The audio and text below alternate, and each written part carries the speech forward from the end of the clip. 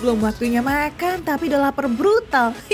Butuh asupan makanan kayaknya ya yang bisa ngenyangin. Secara penghuni di perut udah pada demo semua nih. Minta dikasih japrem. Yes, jatah preman.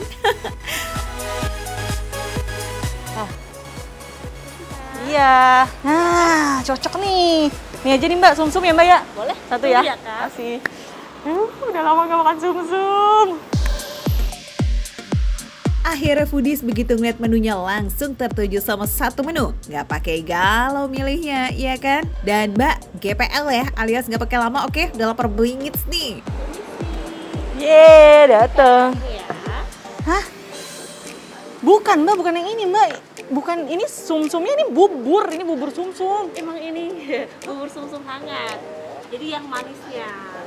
Bukan, maksudnya bukan ini foodies. Maksudnya sumsum sumsum olahan itu loh Mbak yang buat dimakan. Loh, loh, loh. Ya, tapi bener sih. Bubur sumsum juga bisa dimakan kali put. Bukan buat pajangan doang loh itu. Maksudnya sumsum yang mana sih? Eh, sumsum yang buat dimakan sama nasi yang rasanya gula. Aduh, yang kayak gitu deh pokoknya yang selesai Oh, gue. itu, itu yang. Oh iya, itu maksudnya. Ih, salah deh. Ya udah aku mau yang itu aja deh, Mbak. Boleh, boleh. Nanti tunggu ya. Iya, udah. Atau kalau enggak aku ikut ke dapur aja daripada salah lagi nih. Boleh, boleh. Ya, boleh ya. Silakan, Kak. Ya, nih, nih, nih, nih, nih, nih, buat tulis aja. Nih buat kameramen nih. Ambil, ambil, ambil, ambil tahu. Oh alah, makanya Put ya agak jelas dikit gitu loh kalau pesen makanan biar nggak salah ya kan. Mohon maaf ya Pudis, ya salah orang lagi lapar ya kan. Tapi emang kalau lagi mampir ke sini harus jelas nih mau pesen apa. Soalnya lagi di rumah sumsum otomatis banyak banget olahan sumsum yang dijual di sini. Kalau ngomongin tulang sumsum, yang pertama kali kebayang udah pasti sup hangat ya dengan potongan tulang yang cukup besar, terus di dalamnya juga ada sumsum.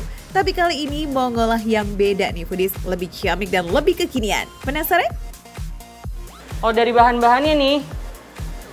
Ini apa nih, Mas? Eh, urat urat ini daging daging. Ini ternyata Budis kita mau masak ini sumsum tulang belakang. Loh, kok sumsum tulang belakang? Sumsum apa? kaki Sapi apa kambing, Mas? Sapi ya. Iya. Jadi semua di sini pakai sumsumnya sapi. iya Setelah minyak panas, masukkan bumbu rahasianya nih ala rumah sumsum.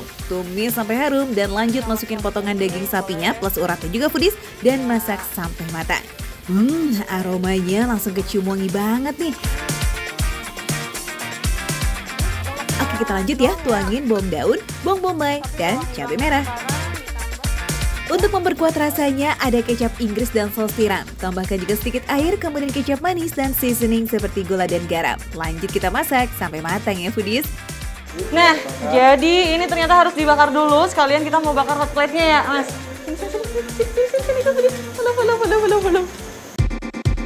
Nah yang bikin lebih menariknya lagi nih cara penyajian sumsumnya ini loh menggunakan hot plate.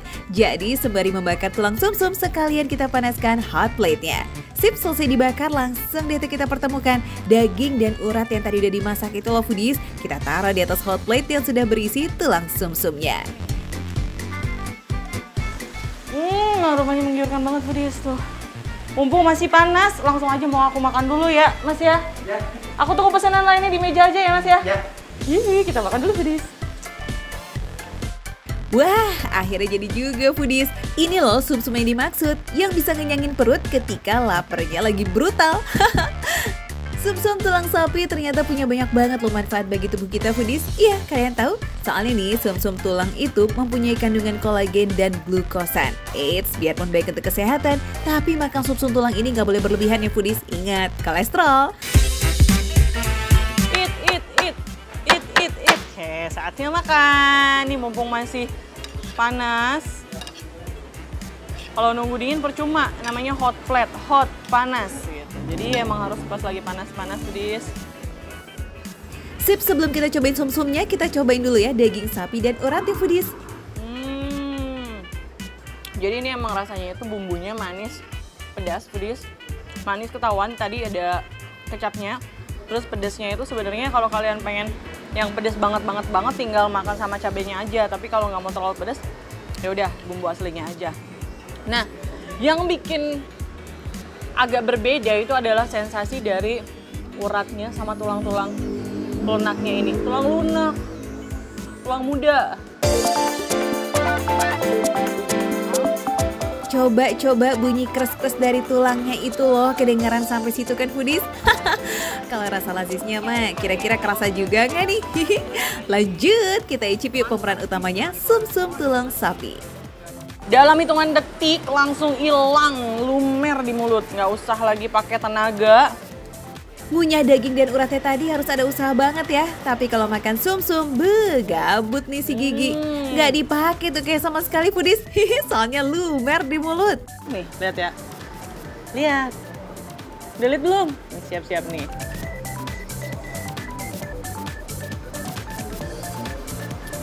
Hilang, beneran hilang. Wah, ancaman besar nih buat pecinta sum-sum sapi. Pasti lagi nonton langsung pada ngiler ya. Hihi, dengar seruputannya kan? Sum-sum ini nggak perlu dikasih bumbu apa pun juga udah lasi sebenarnya foodies. Gurih bawaan dari lahirnya gitu loh. Ditambah ada aroma bakaran dan bumbu daging yang dimasak tadi. Beuh, rasanya semakin juara. Ih, nggak berasa nih tahu-tahu sum-sumnya udah habis aja foodies. Lanjut, kalau biasanya ramen toppingannya chicken katsu atau smoked beef aja, nah kali ini toppingnya ditambahin sama sum-sum tulang sapi. Bagian pedasnya itu ternyata cuma melapisi bagian atasnya doang nih foodies. Dalamnya itu nggak e, terlalu kecampur sama si bumbunya. Beda sama yang dibakar tadi. Kalau dibakar tadi sampai ke dalam-dalam itu ada bumbunya. Nah ini enggak. Pas bagian dalamnya emang cuma berasa aroma sumsum sama rasa bawaan dari sumsumnya aja foodies. Sum-sumnya berasa pedas nih foodies, soalnya emang ramennya ini varian dari yang spicy, jadi rasanya bawaan dari si bumbu ramennya itu tuh. Nah terakhir, sup sum-sum. Sebelum kita icip siram-siram dulu ya sum-sumnya pakai kuah supnya foodies. Eh, bentar-bentar, icip dulu kali ya kuahnya. Hmm, seger. Kuahnya udah seger banget, berasa. Tinggal kita coba kalau dicampur sama sumsum ya.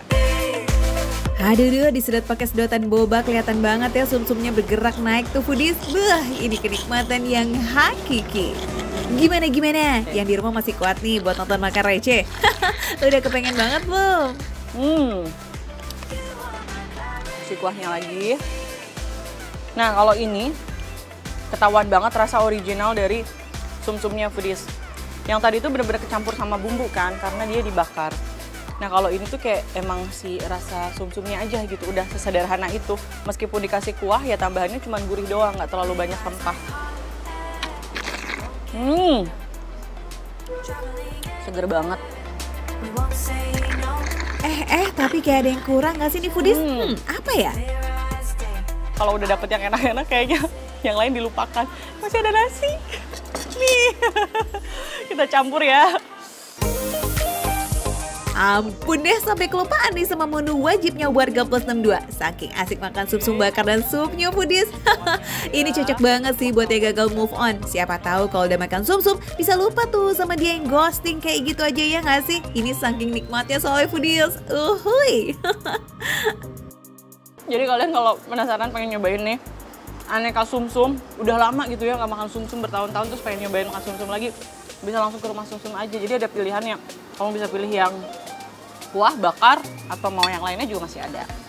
Oke, aku lanjut makan. Mau tetap ngeliatin aku makan atau mau eh, langsung datang ke sini? Silakan gimana foodies aja. Makan receh, bunuh receh, tapi rasanya nggak recehan.